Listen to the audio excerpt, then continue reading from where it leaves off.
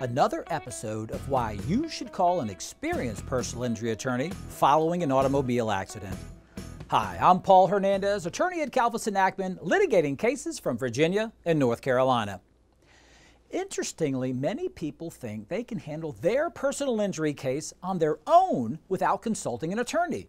I say interestingly because even though I have a finance and an accounting degree, I don't do my own taxes. I hire an expert, someone who handles tax matters every day.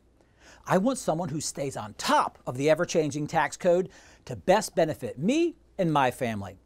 Let me share with you this story about a client who was about to sign a release and settle her case without an attorney for only $15,000.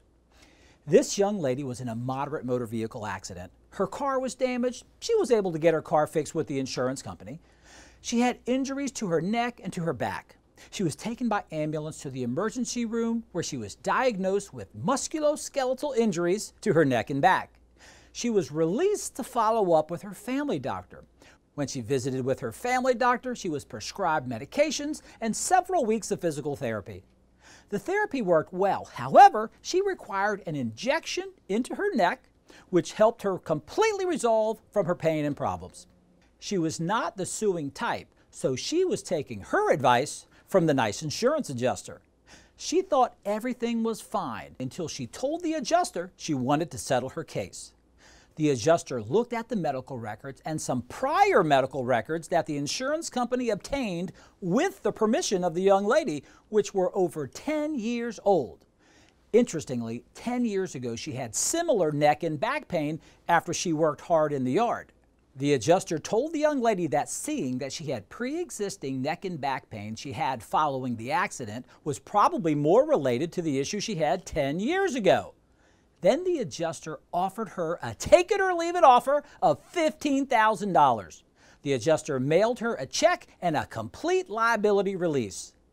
Fortunately, the young lady had a relative who was an attorney in another state, and she asked him if it was a fair settlement. That attorney, unfamiliar with the legal landscape in Virginia, was referred to me based on my reputation in the community.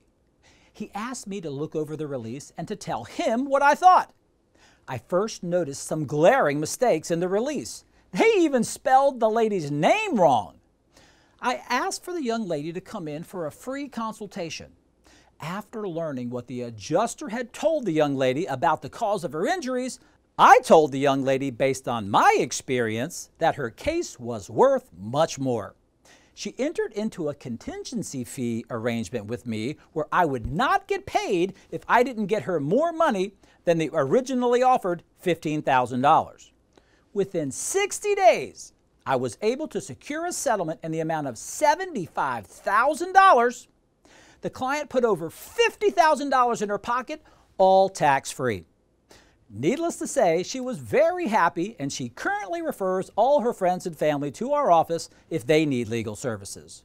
So the moral to this story is that claims adjusters are really nice until you start talking about the M word. No, the M word is not marriage, it's money. The only currency we have in the legal world to correct these wrongs. If you have any questions about an automobile accident or whether you need to hire an attorney, call me, Paul Hernandez, at 888 487 8546. I answer questions like this every day. And by the way, if you enjoyed this video, click the subscribe button below. That way you'll be notified every time we post a new informative video. I'm Paul Hernandez, litigation attorney in Virginia and North Carolina, and thanks for watching.